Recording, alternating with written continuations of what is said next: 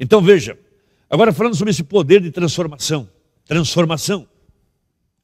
É, é mudar de um estado para outro estado.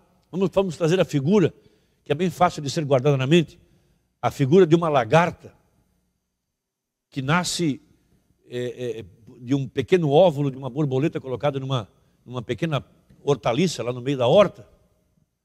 E dali vem um pequeno ser espinhoso, aquele espinho horrível que pode causar dano na sua pele, e vai rastejar no chão por um, por um tempo indeterminado. Num dado instante, é, há um poder dentro dele, há, uma, há um poder que está ali dentro, que não, não foi colocado nele, já estava dentro dele. Ele vai se prender debaixo de uma, um pequeno pedaço de pau, ele entra num poder de metamorfose, mudando de forma. A palavra metamorfose, mudando de forma.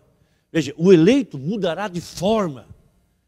À medida que a palavra lhe é pregada, e o Espírito Santo for operando, ele vai mudando de forma, mudando, mudando, mudando, mudando, mudando, de glória em glória, até ser visto na imagem perfeita da palavra, porque está ali dentro o poder para transformar.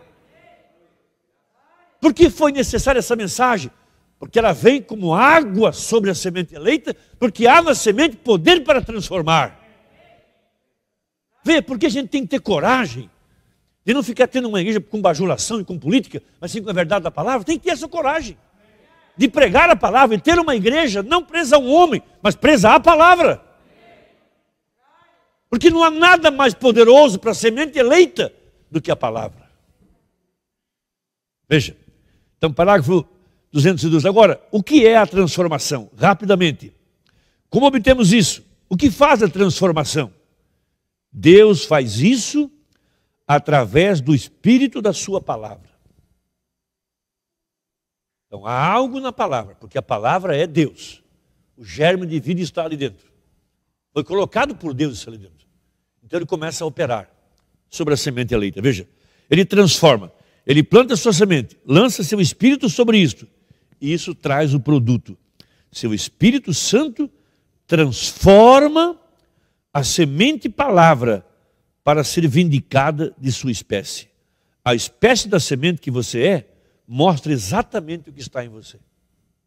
Então, quando Deus mostra a Caim o que é o certo, a reação de Caim ao que Deus disse mostrou que semente ele tinha. A nossa reação, na verdade, dessa mensagem mostra que espírito, que, que semente é em nosso coração. Caim capta a palavra, você captou a palavra, por quê? Havia uma semente eleita aí dentro. Veja, você não pode esconder isso. Seja o que for você interiormente, isso mostra o exterior. Você simplesmente não pode evitar isso. Você não pode fazer daquela árvore nada a não ser o que ela é. Então, quando o Espírito Santo começa a falar em Gênesis, haja, ele vai mudando, e vai falando a palavra, logo ele separa as águas.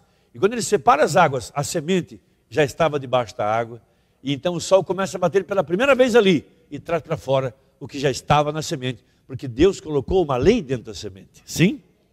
Veja, fazer daquela árvore nada a não ser o que ela é. Isso será daquela maneira. O Espírito Santo transforma as sementes que estão dentro disso. Não importa o tipo que a semente seja, isso transformará. Se é o mal, isso trará o mal. Meu Deus, isso é muito sério. Isso é muito sério. Muito sério. Muito sério, muito sério. Muito sério. A água que embebe a chuva, que muitas vezes cai sobre ela. Veja, a água não transforma a semente, mas traz para fora o que já estava lá.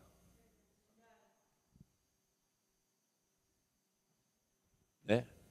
A mesma mensagem que transforma o eleito também traz para fora o que não é eleito. Porque o falso também é religioso, ele também vai para dentro da igreja. Ele também ouvirá a palavra, ele também cantará, ele também vai adorar. Mas passam-se os anos e os resultados que mostra aquela vida é que vai dizer que semente que era. Isso é dramático, você não acha dramático? Eu acho isso muito dramático. Nossa, porque lá no começo nós pensávamos que todo mundo que cria no profeta já era eleito. Passaram-se os anos e a gente viu que não era bem assim. A mensagem produziu toda a classe de gente que você poderia imaginar, todo tipo de grupo que você poderia imaginar, diferentes doutrinas. Porque o Espírito veio trazer para fora o que já estava lá dentro. Por isso haverá uma igreja eleita que viverá de cada palavra, que será transformada pela, pela verdade da palavra, e haverá uma falsa igreja que viverá da mesma mensagem. Mas trará o quê? Vai trazer é, é, desamor, né? falta de amor, dividindo irmãos, separando os irmãos, conquistando, controlando.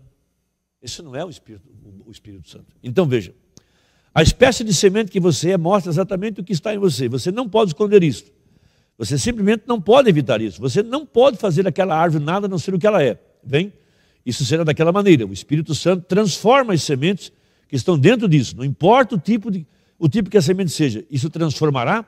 Se é o mal, extrairá o mal. Se é um hipócrita, extrairá um hipócrita. Se é uma genuína palavra de Deus, isso trará um filho genuíno ou filho de Deus através do filtro do homem que pensa. E quando a semente chega, isso vem através daquilo. Isso produz um filho e uma filha de Deus. Certo dia, quando o mundo estava em caos, de trevas, agora ouça atentamente, porque não vamos. Só um pouquinho mais. Veja, certo dia, quando o mundo estava outra vez, em todos os tipos de religiões, lavando as mãos, lavando as panelas, usando mantos diferentes, e goros e assim por diante. Isso estava no meio de um caos total. O genuíno Israel de Deus estava tão pervertido das, das leis e estatutos de Deus, disse Jesus: Vós, com vossas tradições, faz a palavra de Deus de nenhum efeito para o povo por suas tradições. E olhe para esses sacerdotes santos, eles, eles o chamam. E Jesus disse: Vós tendes por pai o diabo e fazeis suas obras. Vem, isto é exatamente o que ele disse. Agora, quando o mundo está nesse tipo de, de, de dificuldade, o Espírito de Deus moveu outra vez sobre uma semente que era predestinada. Ele traduziu e transformou isso. Isaías 9,6, de sua promessa, ele, ele, Deus, foi feito carne humana para salvar aquela época do caos.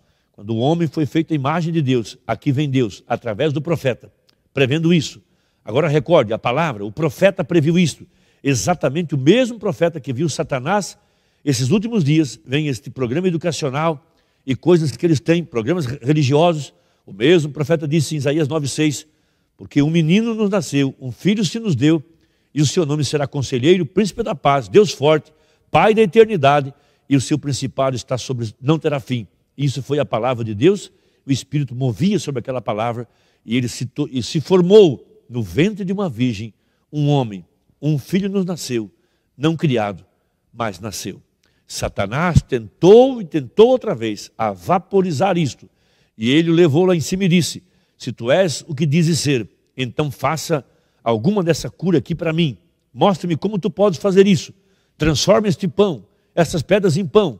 Vamos ter, vamos Vamos ver você dar um mergulho, porque a Escritura diz que tu farias isso. Vê você esses demônios religiosos hoje, que continuam a dizer aquela mesma coisa.